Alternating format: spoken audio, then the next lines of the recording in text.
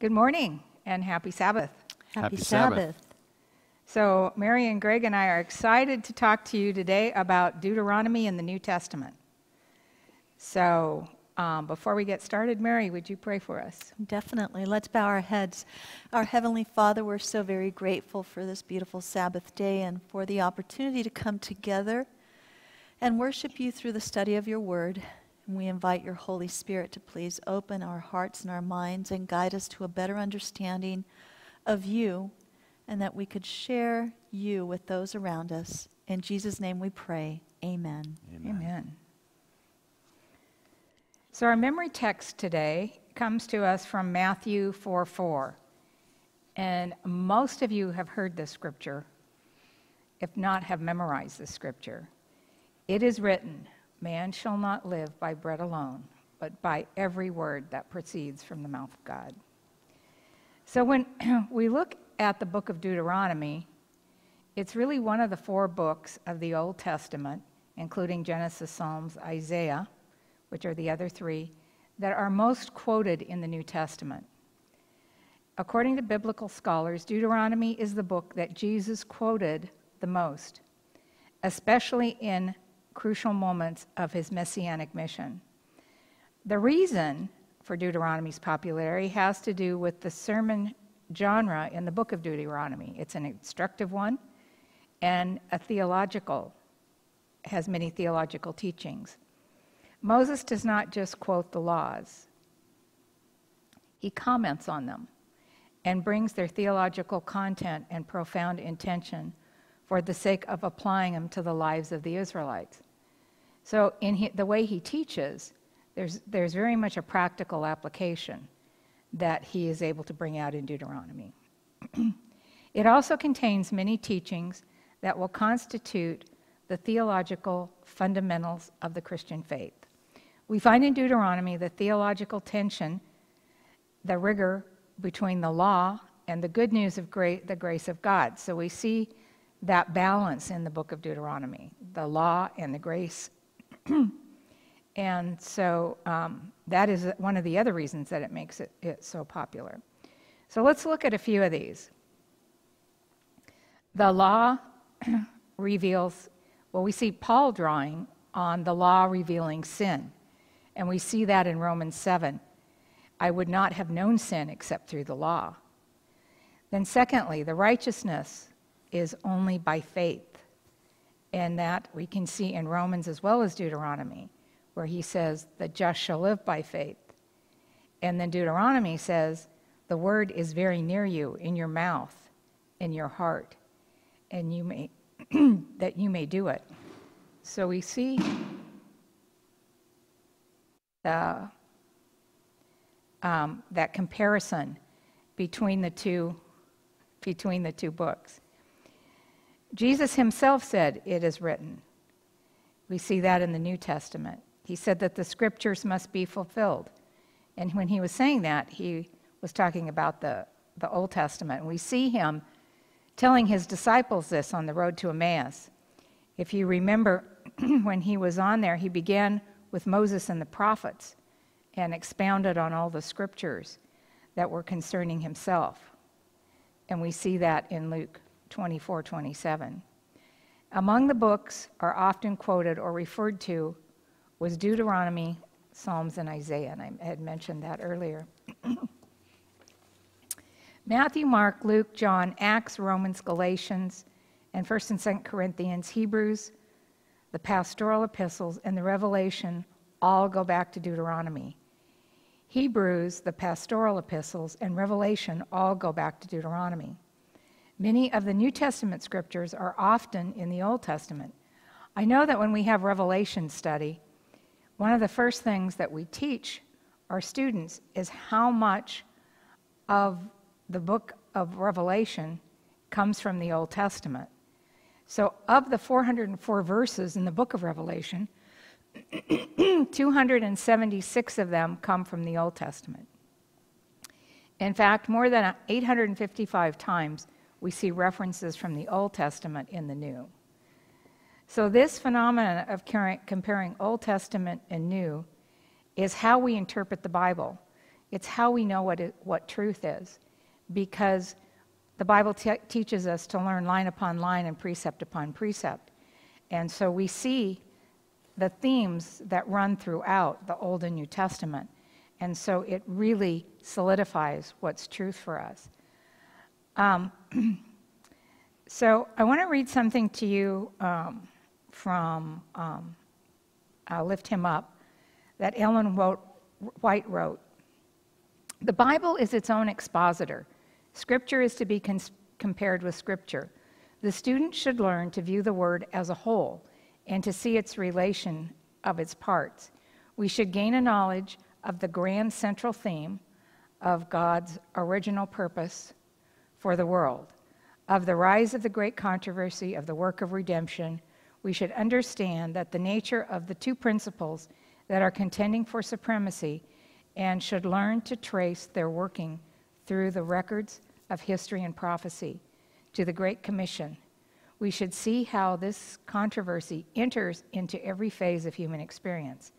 Now, in every act of life, reveals the one or the others of two antagonistic motives, and how, whether he will or not, he is even now deciding upon which side of the controversy he'll be found.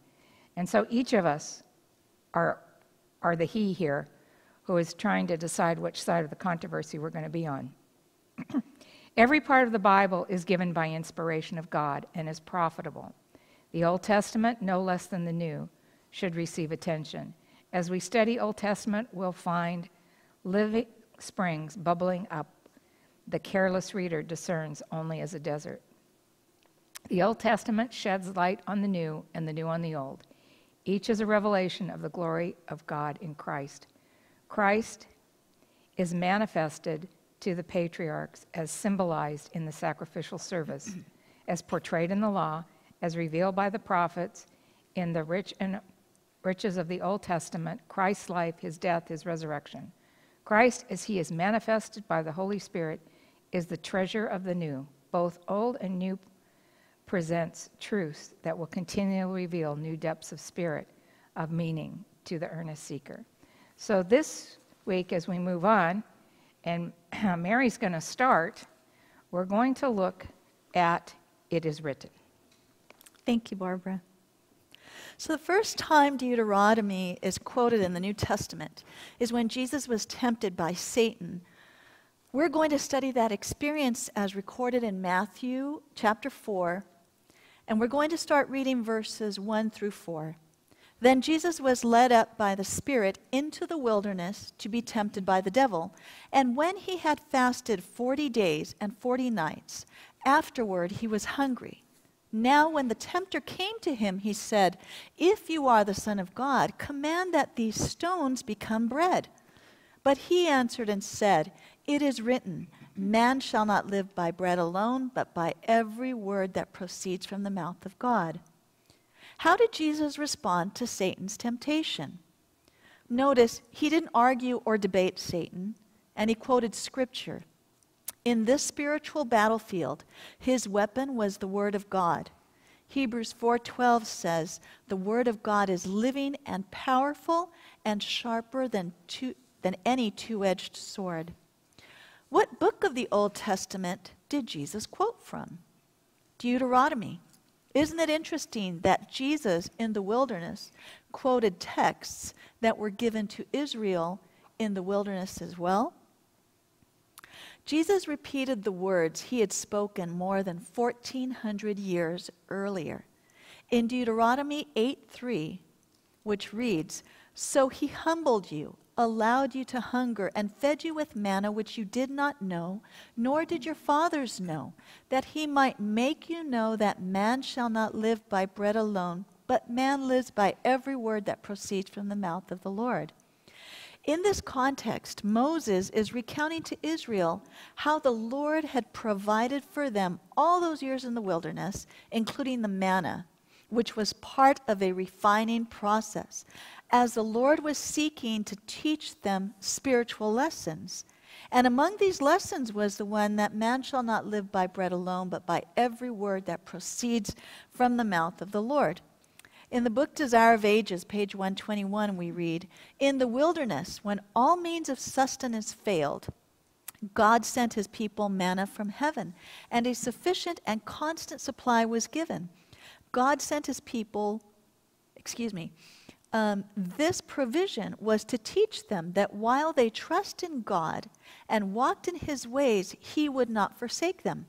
The Savior now practiced the lesson he had taught to Israel. By the word of God, help had been given to the Hebrew host, and by the same word it would be given to Jesus. He awaited God's time to bring relief. Now, the second temptation, verses 5 to 7. Then the devil took him up into the holy city, set him on the pinnacle of the temple, and said to him, If you are the Son of God, throw yourself down, for it is written, he shall give his angels charge over you, and in their hands they shall bear you up, lest you dash your foot against a stone.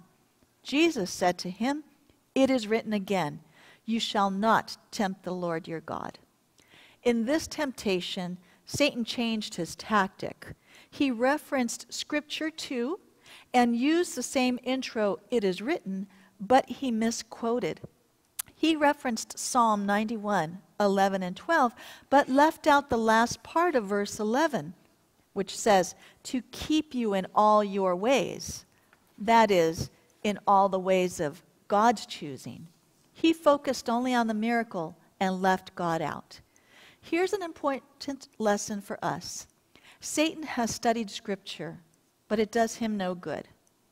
Beware for it's possible to know the scriptures well and quote them all the time, and yet ignore or even reject the God who inspired them.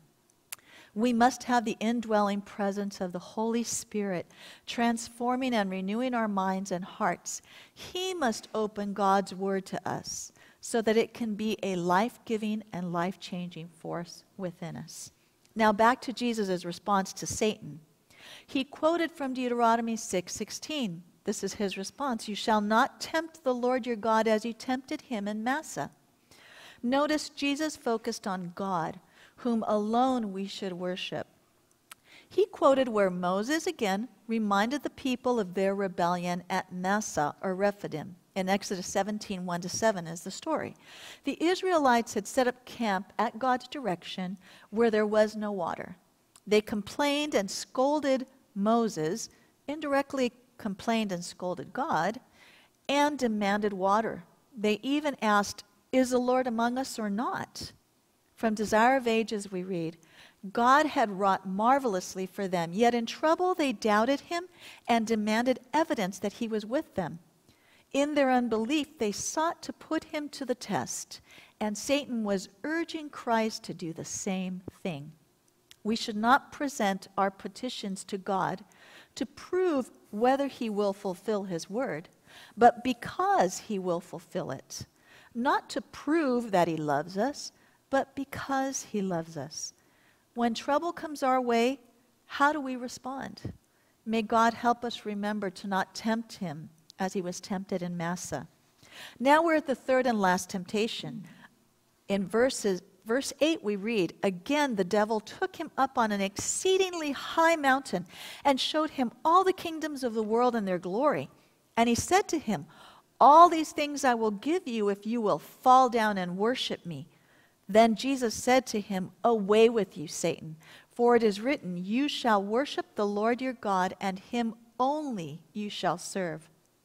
Here, Satan shows his true character he presents before Jesus the kingdoms of the world in all their fullness of glory, luxury, and abundance in panoramic view. He wants worship and from God Himself. But Christ would not be bought. And once again, quoted from Deuteronomy 6:13, where the Lord is warning the Israelites of what will happen when they are living in the land flowing with milk and honey, in houses full of good things, and when you have eaten and are full. Jesus said to beware of worshiping other gods. Through Moses, he tells them, You shall fear the Lord your God and serve him, meaning you shall not bow down and worship anyone or anything beside him. So, what important lessons have we learned in order to resist Satan's temptations? Scripture is our only weapon. We must ask the Holy Spirit to fill us with His Word and let it empower our lives. And don't engage in debate or discussion with the devil. Let God's words rebuke him. I'd like to conclude with sharing this quote from Desire of Ages, page 123. By what means did he overcome in the conflict with Satan? By the word of God. Only by the word could he resist temptation. It is written, he said, and unto us are given exceeding great and precious promises, that by these ye might be partakers of the divine nature, having escaped the corruption that is in the world through lust. That's in 2 Peter 1 4. Every promise in God's word is ours. By every word that proceeds out of the mouth of God are we to live when assailed by temptation, look not to circumstances or to the weakness of self, but to the power of the word. All its strength is yours. Thy word, says the psalmist, have I hid in mine heart that I might not sin against thee. Ask God to hide Deuteronomy and the rest of the scriptures in your heart. Thank you. Now, Greg, you have a very interesting topic lifting up faces. I do. I thought it was interesting because I, I wasn't quite sure where they were going to go with this, but I thought it was it's worth the uh, the discussion and the uh, the research. All right. So share with us what you've discovered. I sure will. And uh, good morning again, everyone, and happy Sabbath. And Monday's lesson, as Barbara had mentioned, is called Lifting Up Faces. And that comes from the phrase in Deuteronomy 10 17 through 19. So let's just read that. So join me in opening your Bibles, or you can follow on your screen. For the Lord your God is God of gods and Lord of lords, the great God, mighty and awesome, who shows no partiality nor takes a bribe. He administers justice for the fatherless and the widow and loves the stranger, giving him food and clothing. Therefore, love the stranger, for you were strangers in the land of Egypt. So, the term shows no partiality is translated from a Hebrew figure of speech, meaning that he, God, does not lift up faces. And that is believed to have come from a legal setting in which the judge or king sees the face of a person who's on trial. And based on that person's status, being either an important or unimportant person in status, the judge or king would then render their verdict. So the implication or point in the passage of Deuteronomy is that God does not treat people in this manner. Thank God he doesn't treat people in this manner. God treats us all fairly, one just like another, regardless of our social status. And Jesus lived this example in his life by showing how he treated even some of the most undesirable people. And if you could think of some of those in in Scripture, some of the undesirable people included tax collectors. I don't think they're necessarily considered that today because it's a profession and it's not as, as controversial as it was back then. Adulteresses, and even the poor and needy. And Christ even said, You'll always have the poor with you. So this continues not only from the Old Testament, but all the way through the New Testament and through today's time. But let's read a few passages from the New Testament that address this same principle of God and Jesus and the principle of impartiality. So let's begin with Acts 10:34. Then Peter opened his mouth and said, "In truth, I perceive that God shows no partiality." So Peter confirms this too. In Romans 2:11, we read, "For there is no partiality with God." When you actually read all of Romans 2, Paul makes it very, very clear that in God's righteous judgment, in salvation and condemnation, there is no difference between Jew and Gentiles. Let's now move to Galatians 2 6, which reads, But from those who seemed to be something, whatever they were, it makes no difference to me. God shows pers- personal favoritism to no man. For those who seemed to be something added nothing to me.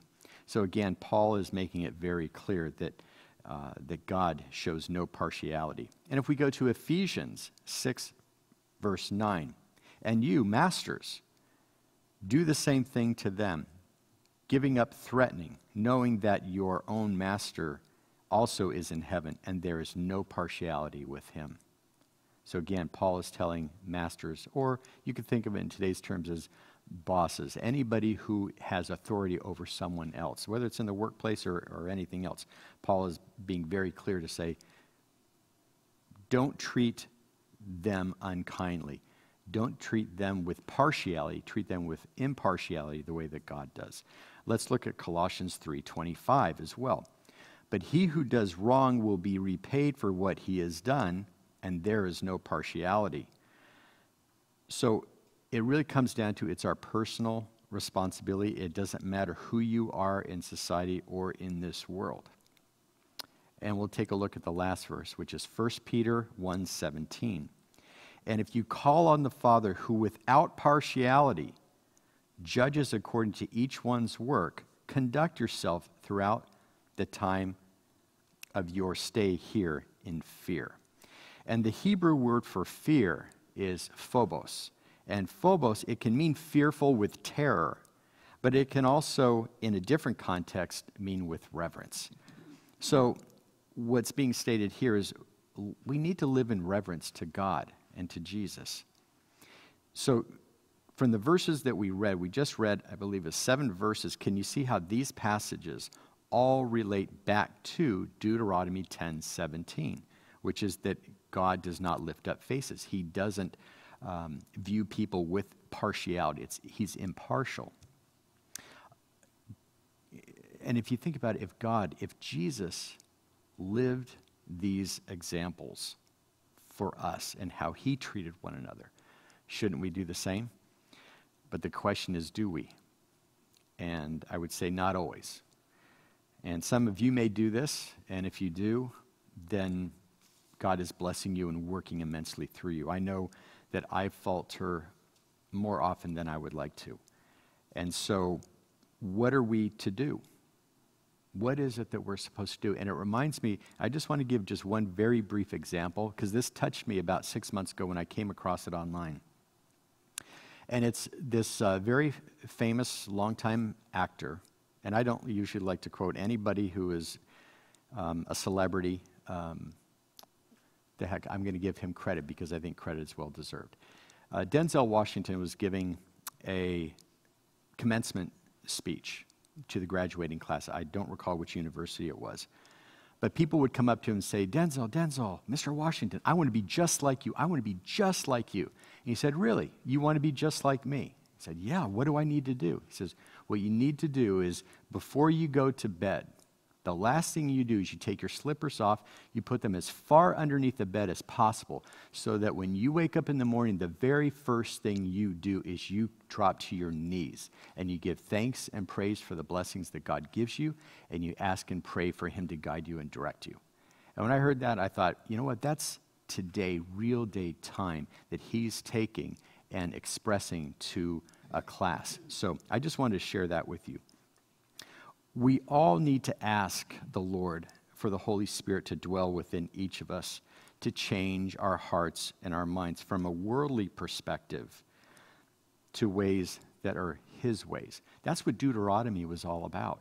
Deuteronomy was a plea from Moses to the Jewish people saying, You need to change your hearts and your minds. Stay with God.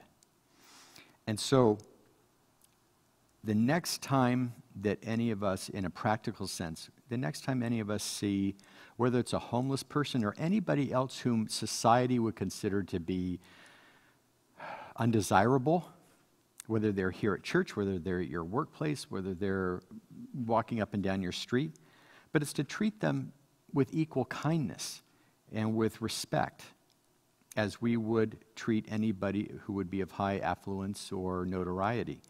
But when we have employees and workers, I think we often tend to be a little bit um, hard on them.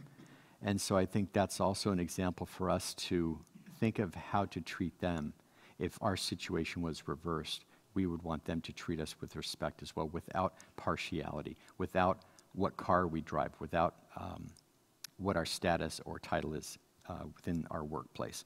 So the thing is, we can't do that on our own. It's not possible for us to do it on our own. Our own sinful nature works against us. So we need to drop to our knees. We need to ask the Lord to help us by the indwelling of the Holy Spirit. And He can help change our hearts and His mind to reflect His. So, regardless of our status, whether we are high or low or somewhere in between in status in this world, we are all offered salvation in Jesus Christ equally. And because God shows no partiality, he shows no lifting up of faces. So I hope that this has given you maybe just a practical sense of what that term means. And so, with that said, I will turn it back over to Barbara. Thank you. We're going to now talk about um, cursed on a tree. And in this, we're going to talk a bit about literally where uh, Paul says in Galatians, talks in Galatians about Christ being hung on a cursed tree, and also about justification by faith. So the scripture's a little bit long, so we're going to jump in here at verse 5. Therefore, he who supplies the Spirit to you and works miracles among you, he do it by the works of the law or by the hearing of faith. So, which one is it? Just as Abraham believed God and it was accounted to him for righteousness, therefore, know that only those who are of faith are sons of Abraham. so, if we're going to be sons of Abraham and God's chosen people, we have to have live with the same type of faith. And the scripture foreseeing that God would justify the Gentiles by faith preached the gospel of Abraham beforehand, saying, In all nations shall be blessed. So then, those who are of faith are blessed with believing Abraham. For as many as are the works of the law under, are under the curse, for it is written, Cursed is everyone who does not continue in all things which are written in the book of the law to do them but that no one is justified by the law in the sight of God is evident, for the just shall live by, by faith. So that's a mouthful. So we are not saved by the law, but yet we are justified in Christ. And in doing so, we live by faith and keep the law. Yet the law is not faith, but the man who, de- who does them shall live by them. We see that again. Christ has redeemed us from the curse of the law, having become a curse for us. For it is written, Cursed is everyone who hangs on a tree, that the blessing of Abraham might come upon the Gentiles in Christ, that we might receive the promise of the Spirit through faith. Now, this whole concept of being cursed by hanging on a tree was something that I had to do a little bit of research on, so I'm going to share it with you. And it comes from where I'm bringing, taking this from is Matthew Henry's Bible commentary. So, in, in that, we see that a law forbearing of the bodies of malefactors that were hanged, we see this in Deuteronomy 21 22.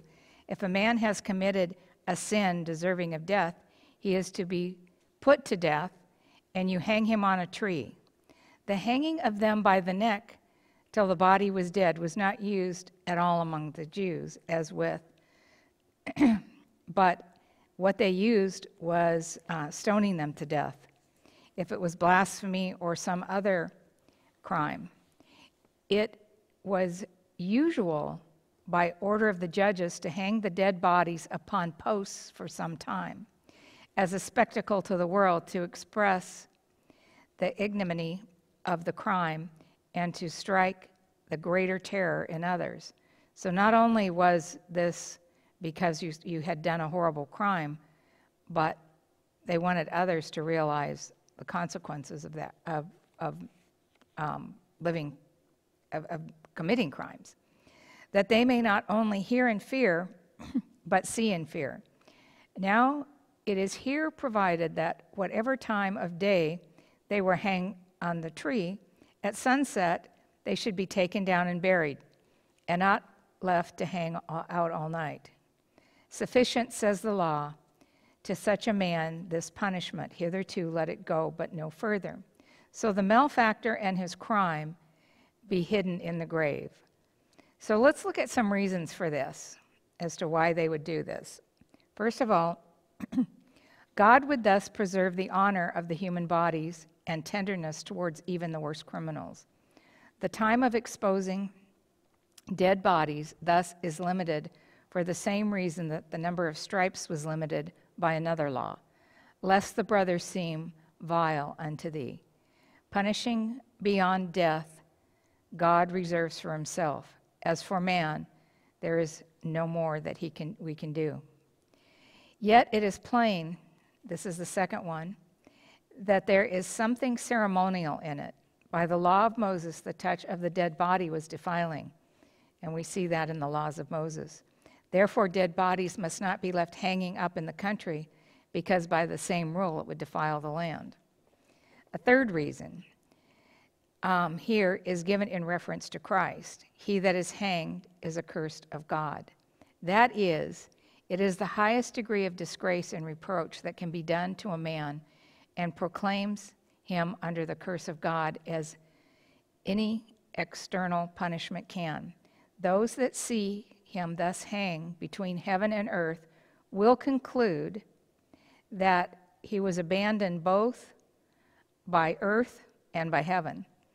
Therefore, let him not hang all night, for that would carry it too far. Now, the apostle, showing how Christ was re- redeemed us from the curse of the law by, by himself being made a curse for us, illustrates it by comparing the brand here put on him that was hanged on the tree with the death of Christ. And we see that we've seen that in, in Galatians 3:13. Moses, by the Spirit, uses the phrase of being accursed of God when he seems no more than being treated most ignominiously, that it might afterwards be applied to the death of Christ and might show that in it underwent the curse of the law, for which is a great enhancement of his love and great encouragement of faith in him. So now, and then the fourth reason, um, this passage is applied to the death of Christ not only because he bore the sins and exposed and was exposed to shame, as these malefactors were that were accursed of God. And we remember there was a malefactor uh, by Christ who was truly a criminal, and they chose to let him go. But he was in the evening, evening taken down from the cursed tree and buried before sunset, and it demanded no more. So we see that um, that that whole issue around this curse that Christ took for himself and uh, put upon him. This curse was really deserving, we were deserving of. Christ wasn't deserving of. So by doing this, the church is washed and cleansed by the completion, the complete satisfaction which Christ made in doing this act. So also, um, Paul says in Deuteronomy 27 26, cursed is the one who does not confirm all the words of the law by observing them. And all the people say, Amen. Unfortunately, it is common in Christianity to use this letter as some kind of justification for not keeping the law or the Ten Commandments. Of course, that argument is really used as a reason not to keep the commandments, especially the fourth commandment, as that, um, as if that one commandment, as opposed to the other nine, somehow is an expression of legalism that Paul was dealing with at the time. Yet Paul was not speaking against the law, and certainly nothing in the passage would justify breaking the Sabbath commandment. The key can be found in Galatians 3:10, where he writes, "All who rely on the works of the law are under the curse." Then he quotes Deuteronomy 27 26. The issue isn't obedience to the law, but relying on the law through a, a tough position, if not an impossible one. Paul's point is that we are not saved by the works of the law, but by Christ. And so, as we go through this, this, this lesson and, and learn that symbol, it's amazing to me that this whole issue of being hung on the cross as a curse, as a shame, is, is just, it overwhelms me because Christ did that for us. It's something that we deserved and He did for us. So, um, but we can live by faith as Abraham did and be justified. Thank you, Barbara. You're going to be talking about a prophet likened to us? Yes. Okay. I am. And we're going to begin by reading first Deuteronomy 18, 15 to 20, where Moses is again speaking to the Israelites. And he says, The Lord your God will raise up for you a prophet like me from your midst, from your brethren.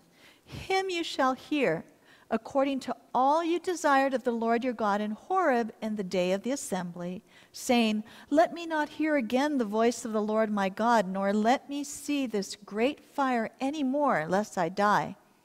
And the Lord said to me, What they have spoken is good. I will raise up for them a prophet like you among their brethren, and will put my words in his mouth, and he shall speak to them all that I command. And it shall be that whoever will not hear my words, which he speaks in my name, I will require it of him. What is Moses telling them? Is he referring to the future coming of prophets in general or to a specific prophet?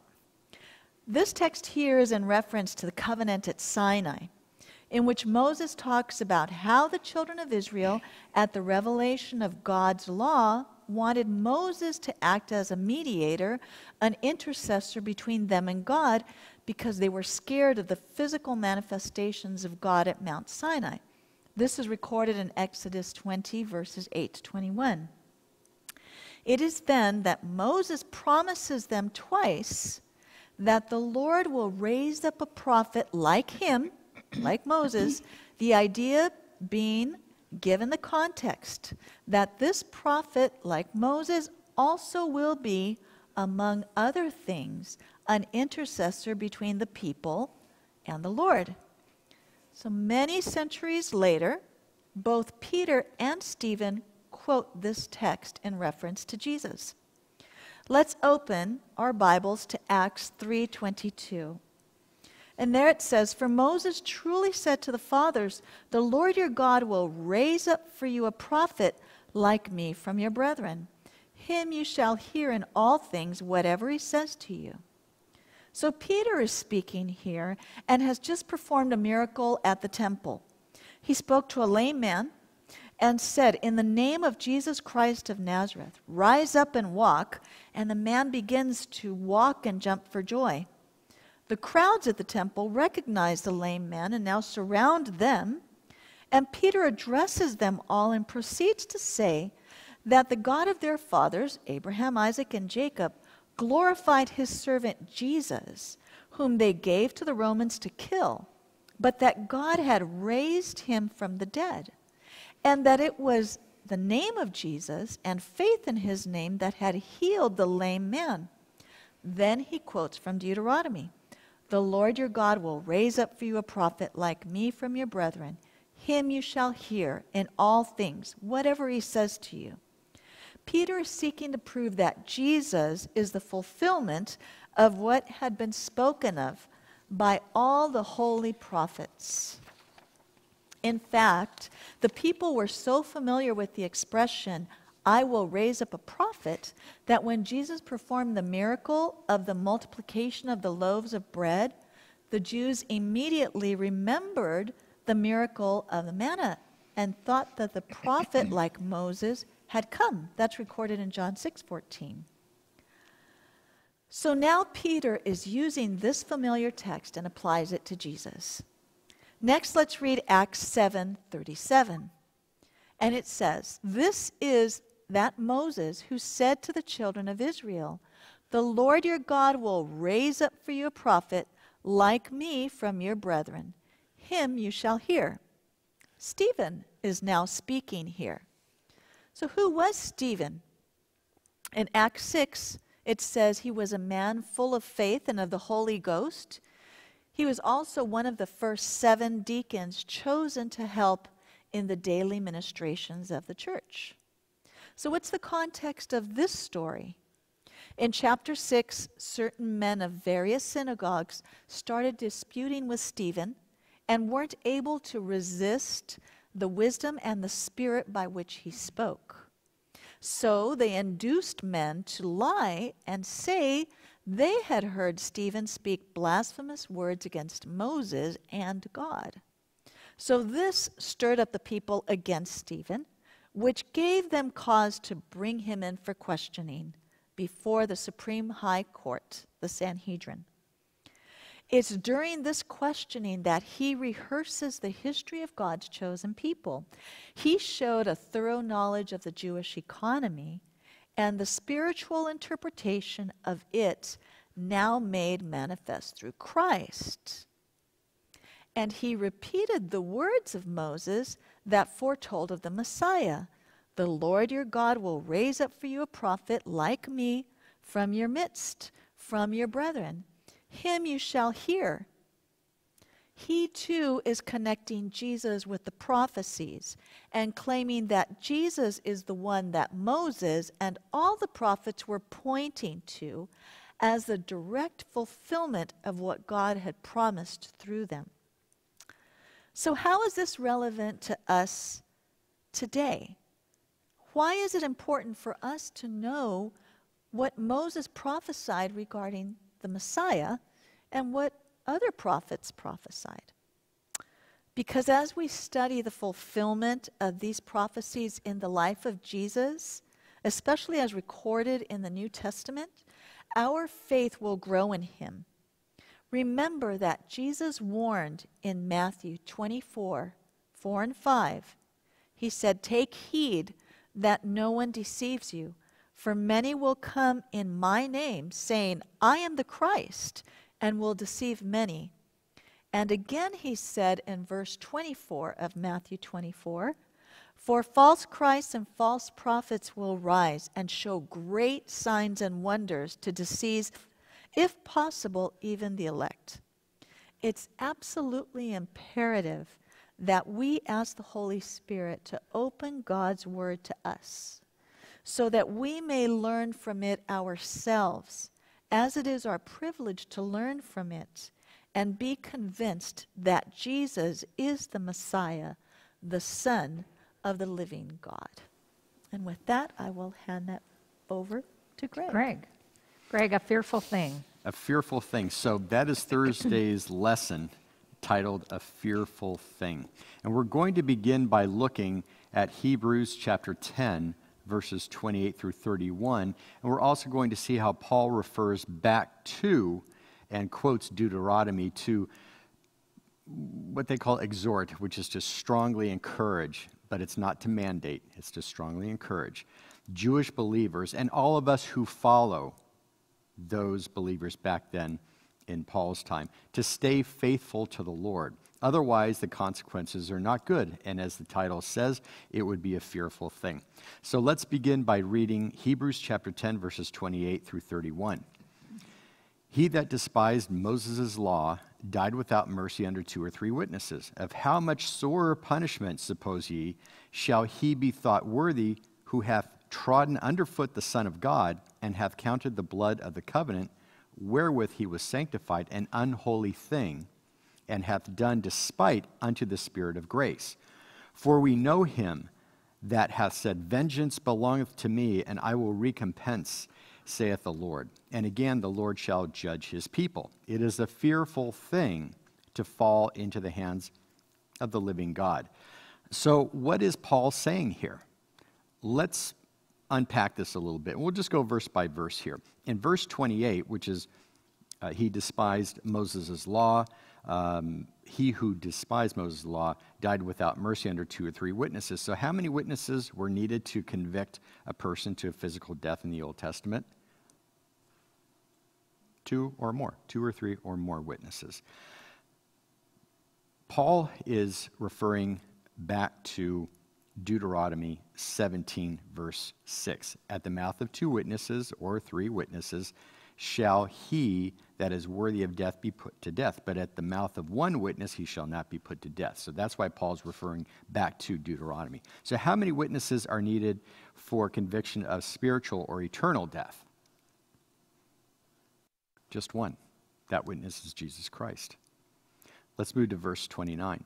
Of how much sore punishment suppose ye that uh, ye shall be thought worthy who hath trodden under foot the Son of God and hath counted the blood of the covenant wherewith he was sanctified an unholy thing and hath done despite unto the Spirit of grace. So, how much sore the punishment? Sore in the Greek is chiron. That's pronounced chiron. And it can mean worse and worse or a worse thing. So Paul's saying, this is a worse thing. Punishment in the Greek is the noun timorea. And timorea means penalty. And what is a penalty based on? Well, a penalty is based on a decision or a judgment that's rendered as a consequence of an action or an inaction. So Paul is saying that we suffer the consequences of our own actions or our own decisions. We're talking about those who, by freedom of choice, our own freedom of choice, rejected Jesus and hath done despite the Holy Spirit. So, hath done despite the Holy Spirit. This I thought was really interesting. In the Greek, the verb for despite is inubrizo, inubrizo, and that means to insult. So that's to essentially insult the Holy Spirit, which is really synonymous with the unpardonable sin that is stated in Matthew 12 31, which is, Therefore I say to you, every sin and blasphemy will be forgiven men, but the blasphemy against the Spirit will not be forgiven men. So, why is Paul saying this? Why is he telling us this? And what's wonderful is he gives us the answer in the very next verse, which is verse 30. And it begins with, For we know him. For we know him that hath said, Vengeance belongeth unto me. I will recompense, saith the Lord. So there he's referring back to Deuteronomy 32, verse 35, which states, Vengeance is mine and recompense. Their foot shall slip in due time, for the day of their calamity is at hand, and the things to come hasten upon them. So, what Paul is saying here to those Jewish believers and to us today is we have no excuses. We have no excuses. We have a fuller understanding of God's love for us as revealed at the cross through Jesus Christ than those before us. So again, Paul is saying we're without excuses. Why? Because for we know him. And we know him. The Lord shall judge his people, is how that verse finishes. So if you think about that, for we know him, and then the Lord will judge. So that's why Paul is saying, how much sore could that be? In other words, how much worse can that be? You've, you've known, you've seen a complete picture of this there's no excuses, right? So when the Lord shall judge his people, which is how the verse ends, who shall judge and repay? Who does the judging? The Lord. And how does God repay? He doesn't repay saying, okay, you did this, and so I'm going to punish you that way. In the judgment, God determines who accepted or rejected him, those who are either lost or saved. And those who reject the Lord will hear the words of Jesus in Matthew 7:23 which is, and then I will declare to them, I never knew you. Depart from me, you who practice lawlessness. And that would be a fearful thing. And then lastly, in verse 31, it is a fearful thing to fall into the hands of the living God. Well, the word fall in the Greek is the word empipto.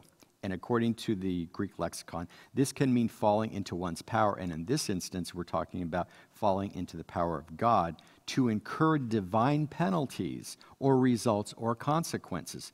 So, again, does this mean that God is going to penalize people for their unbelief? Or is God simply allowing the results to be manifest in the decisions we make of our own choice by rejecting God and rejecting Jesus, and God simply withdrawing his protection, his grace, his mercy, his blessings, and ultimately his breath of life, his ruach. So, this is a judgment that is based upon our decisions. It's the consequence of our own free will, of rejecting Jesus what he had done for, for us at the cross and what he is doing for us now in the heavenly ministry. So, how we make our decisions about God are usually based on how we view God. We either view God as a God of love, as expressed through John 3:16, for God so loved the world that he gave his only begotten son that whoever believes in him should not perish but have everlasting life. Or do you view God as a tyrannical God of legalistic punishment that unfortunately some Christians believe today? Well, I would say this God doesn't want anyone to perish. And he gives us proof of that in Matthew 18, verse 14. Even so, it is not the will of your Father who is in heaven that one of these little ones should perish. He wants none of us to perish. And in 1 Timothy 2 4, for this is good and acceptable in the sight of our God, of God our Savior, who desires all men to be saved and to come to the knowledge of truth. So, in conclusion, Moses understood the love of God. Paul understood the love of God and the love of Jesus as well. They both understood the importance of remaining loyal to God. And Paul was essentially pleading with the Jewish believers back then and us today, each one of us, to stay faithful to God so that we don't hear those, what I consider to be the most anguishing, sorrowful words that we could ever hear, which is, Away from me, I never knew you. We don't want that to happen. God doesn't want that to happen. He wants us all to be saved because if not, that would be a fearful thing to hear those words from Jesus. So I'll give it back to you, all right. Barbara. Mary, do you have any final thoughts? Um, just that reiterating how important Deuteronomy is, memorizing God's word through the Holy Spirit when we are tempted. This is where we need to turn to. And that this word also tells us with certainty who the Messiah is, that he was prophesied in the Old and the New Testament. Only Jesus fulfilled that. Thank you. Any other thoughts, Greg? I just walked away with the study of Deuteronomy with being more blessed than I ever have been before by studying it. So I'm, I'm grateful, and hopefully you have been as blessed as well. Thank you. So I really think to, to conclude this, we need to really go back and think about righteousness by faith. And in Ellen White's biography, she talks about why righteousness by faith is so important. She says, Justification by faith, the foundation of truth of salvation through Christ, is the most difficult, get this, most difficult of all truths to keep in the experience of the Christian. It's easy to profess, but elusive in application. First of all, we need to remember it's a personal matter. Only by individually beholding Jesus and laying claim upon the promised merits of the risen Savior can the experience be enjoyed. And secondly, the experience is one that must be renewed daily and maintained by keeping our eyes on Christ. It can be, it can't be had and enjoyed today and lost tomorrow. So, as we struggle with faith, our fight is the fight of faith, isn't it? It's daily coming to the cross. Amen. It's daily doing what Christ did. He went back and started in the Old Testament. He went back to Deuteronomy. And he showed his disciples all the way through I am Christ, I am the promised one.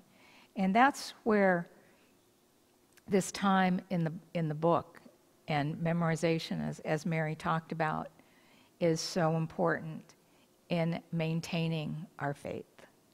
So let's pray. Dear Father in heaven, thank you for this wonderful lesson in Deuteronomy, Father. It's amazing to realize how intertwined your Old and New Testaments are, how it is so blessed and shared between the Old and the New. Father, we pray that we will hang on, that that fight of faith that we fight daily, you will work with us, be with us, pray with us, hold us up as we study and fight that fight of faith.